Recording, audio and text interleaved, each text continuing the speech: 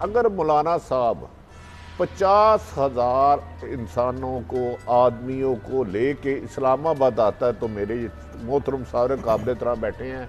پھر فیصلہ دھرنا کہاں ہوگا اور کتنے دن ہوگا اور اس کی گفتگو کیا ہوگی؟ وہ مولانا فضل الرحمان کرے گا۔ یہ ریبر کمیٹی یا دوسری کمیٹیاں نہیں کرے گی۔ رائٹ پھر میرا خیال ہے میسیج کسی اور کو بھی دینا بھائی تیری اکڑ توڑ کے دو کام تجھ سے لے لیے۔ اب یہ تیسرا بھی تم نے کرنا ہے، ورنہ پھر کوئی اور کوئی چیز بن بن جائے گی۔ میں ایک چھوٹی سی بات بتا رہا ہوں کہ پاکستان میں ڈیل خدا نہ خواستہ نہ آج تک کبھی ہوئی نہ ہو سکتی ہے۔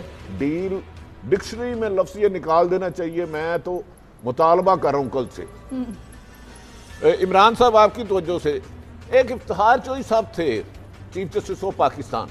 نام میں نہیں لوں گا کیونکہ وہ نام کل سے بڑا ڈسکس ہو رہا ہے۔ نام میں نہیں لوں گا کیونکہ وہ کل سے بڑا ڈسکس ہو رہا ہے۔ دوپہر کل صبح اس دن سات بجے میں ہائی کورٹ چوک پہنچا تو آدمی نہیں تھے۔ میں کہا دھرنا ناکام ہو گیا، افطار چوئی سب حال نہیں ہوتے۔ آہستہ آہستہ غیبی آوازیں آئیں۔ غیبی آوازیں تو آپ سمجھتے ہیں میں سمجھ گیا۔ ہم دونوں کیونکہ بیسیکلی رپورٹر ہیں نہیں بتا سکتے ہم وہ ہم ان کی تشریح میں نہیں جائیں گے۔ ہم جا کے عدالت بھی پوچھنا کون تھا تو ہم کیا کہیں؟ اچھا تو خیر مختصر یہ کہ دوپہر کو میری ایک اہم ترین شخصیت سے بات ہوئی اہم ترین دو شخصیت سے بات ہوئی اس دن ایک کل سے بڑی ڈسکس ہو رہی ہے لیکن نام لینا منع ہے پاکستان میں سچ بولنے پر آپ کی زبان بھی کاٹی جا سکتی ہے آپ کو غیر ملکی بھی قرار دیا جا سکتا ہے اور سختی بھی آ سکتی ہے۔ جی سمجھ آ گئی۔ میں نے ان سے گزارش کی میں نے کہا یہ سر مجھے لگ رہا ہے رکاوٹیں بہت زیادہ ہے اور آپ کا ارینجمنٹ بھی دھرنے والا کوئی نہیں ہے۔ نہ آپ نے کوئی کمبل کی ہے نہ کچھ خوراک کی۔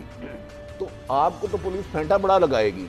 انہوں نے کہا فکر نہ کریں رکاوٹیں راستے سے ہٹ جائیں گی۔ رکاوٹیں راستے سے ہٹ جائیں گی۔ اتحار چوئس صاحب والے مارچ کی بات کرو اور ہم گجرانہ پہنچیں گے اور ہمیں خوشخبری ہو جائے گی۔ اتفاقاً ویسا ہی ہو گیا۔ تو کبھی کبھار ہو جاتے ایسے ہو جاتے ہیں ہو جاتے ہیں لیکن۔ ڈیل اور ڈیل پاکستان میں جو کہتا ہے وہ اس سے معذرت۔ میں کیونکہ اس کی بات کو سیکنڈ نہیں کرتا۔